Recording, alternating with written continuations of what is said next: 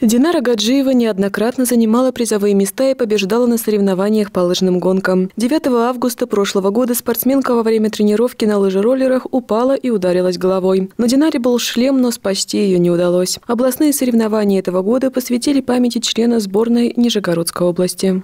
Мы хотим поблагодарить организаторов этих соревнований, директора школы Татьяну Константиновну и тренера Седова Николая Евгеньевича. Спасибо вам огромное, что помните, что всегда на связи с нами, что всегда поддерживаете нас. С напутственным словом к участникам соревнования также обратился заместитель директора по делам молодежи и спорта Александр Михеев и пожелал юным спортсменам быстрых секунд и хороших результатов. В соревнованиях приняли участие 103 спортсмена в шести возрастных группах. Спортсмены приехали к нам из Нижнего Новгорода, Выксы, э, Первомайска, Павлова, естественно, спортсмены города Сарова. Нижний Новгород представил несколько команд.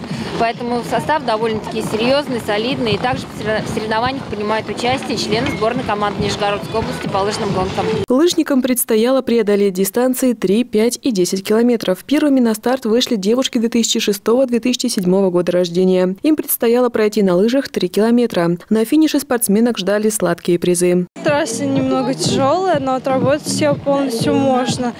Сезон прошел лыжный вполне хорошо.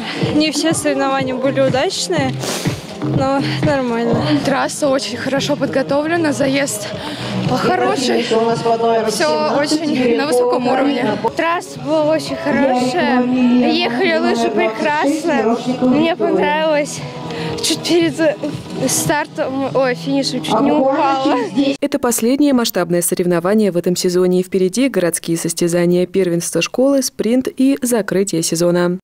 Анна Пелепец, Александр Махмутов, Сергей Рябов, служба новостей Саров 24.